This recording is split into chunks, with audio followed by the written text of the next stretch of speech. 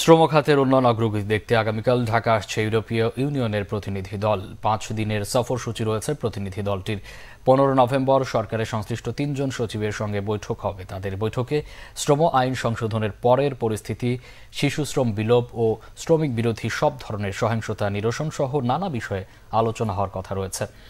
You প্রতিনিধি দলটি এমন এক সময়ে শ্রম খাতের পরিস্থিতি দেখতে আসছে যখন চলছে ন্যূনতম মজুরির দাবিতে পোশাক শিল্পের শ্রমিকদের আন্দোলন।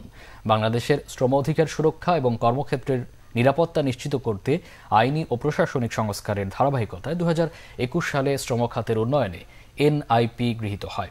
তা বাস্তবায়নের কাজ শুরু হয় দু হাজার একুশ সালে।